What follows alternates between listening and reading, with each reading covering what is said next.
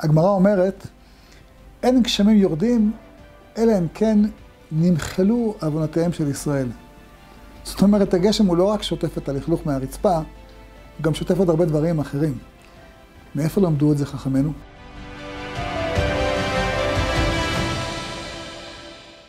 יש פרק בתהילים שפשוט מצווה לקרוא אותו. לנצח לבני קורח מזמור, רצית אדוני ארצך, שבת שבות יעקב, נשאת עוון עמך, כיסית כל חטאתם סלע. כך מתחיל הפרק. הוא מסיים בגשמים.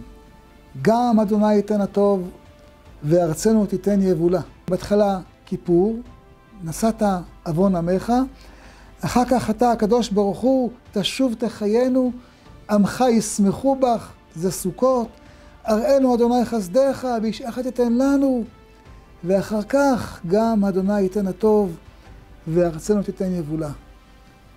איזה זכות, שאנחנו מבינים שהגשמים זה סוף תהליך, או סוף שלב שמתחיל בכפרה גדולה. כל טיפה של גשם משמחת אותנו, כל טיפה של גשם אנחנו מודים עליה, כי כל טיפה של גשם מספרת סיפור ענק, סיפור של אהבת השם אלינו. איזה כיף.